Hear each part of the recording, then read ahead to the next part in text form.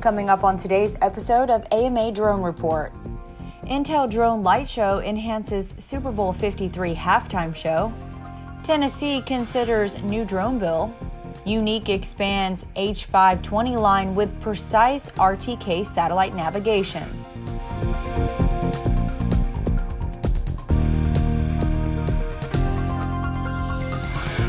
Welcome to Airborne's AMA Drone Report on Aero TV, a weekly news program covering the recreational drone world in partnership with the Academy of Model Aeronautics, one of the oldest and most respected aviation organizations in the world. With more than 200,000 members and 2,400 clubs across the country, I'm Skylar Vanell. During Super Bowl 53 in Atlanta, Intel Corporation partnered with the NFL to create the first ever live drone light show for halftime. About two years ago, we were introduced to the Intel team as some of the drone light shows were starting to become popular. So as we thought about how to push things farther this year, we developed a custom lantern drone show that allows the drones to operate indoor in a closed system.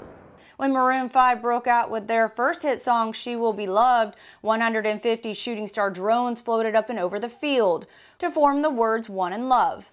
The Intel enhanced drones for the show mimicked floating lanterns.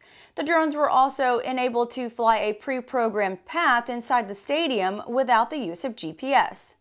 The number of drones flown indoors broke the world record, which was previously held by Intel when they flew 110 drones at the 2018 Consumer Electronics Show in Las Vegas. In the next Drone Minute, we'll take a look at a few of the stories that are making the rounds of the small UAS and hobby drone communities. According to the independent newspaper, the 32 hour closure of Gatwick Airport cost airlines 50 million pounds. That equals about $64 million. The newspaper based the numbers on EasyJet's announcement saying they lost about 19 million. Over 140,000 travelers had to deal with the canceled flights and delays, but for Gatwick based EasyJet, some 82,000 passengers were affected. There still is no proof a drone was flown nearby a drone under development for the package delivery market would jump off the ground much like a bird. The Sparrow drone is being developed by Passerine, a startup company in South Africa.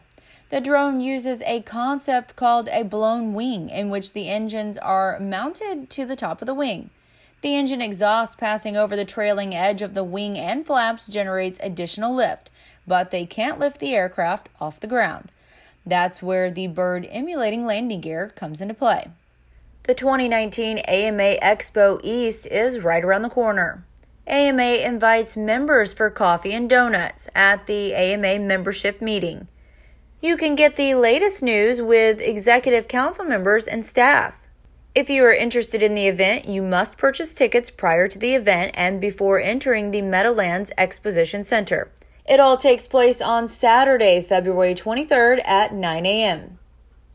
Aero News drone expert KC Sealock recently had a chance to get his hands on a DJI Mavic 2 Pro drone and ran it through its paces. Part 1 covers a lot of the hardware and basic capabilities of this mighty little drone, with the upcoming Part 2 will offer even more detail.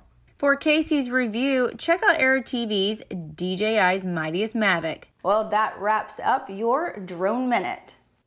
A bill introduced in the Tennessee legislature would make flying a drone in some areas a Class E felony, with fines up to $3,000 and six years in prison.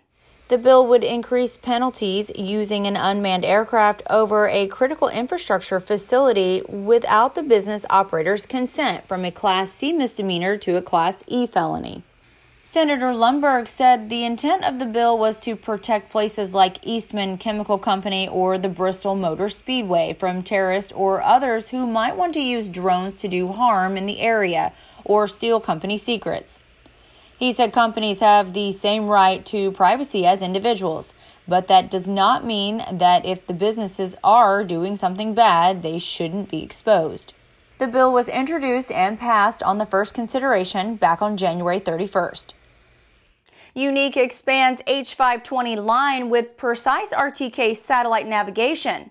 Yuneec International's commercial hexacopter, the H520, will now optionally be available with an RTK system. Even under difficult GPS conditions, such as in cities or canyons, the RTK system ensures maximum precision and centimeter precise positioning. The fully integrated satellite navigation reportedly enables extremely accurate reoccurring images, faster 3D mapping, and makes automated inspection flights easier and more precise. By using RTK technology, the H520 can now fly much closer to objects for inspection. As the UAV positions itself precisely in the centimeter range rather than in the meter range. The satellite navigation system makes it possible to significantly reduce image overlaps, maximizing efficiency in workflows. The RTK system is not only fully integrated into the hardware, but also into the UAV software. If the use of a ground station is not possible, the system can also be operated with a national reference station network. The RTK will be available in the second quarter of 2019 in different configurations. That's our program for this week.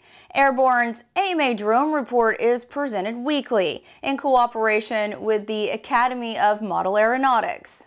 If you're watching us on YouTube, go ahead and subscribe.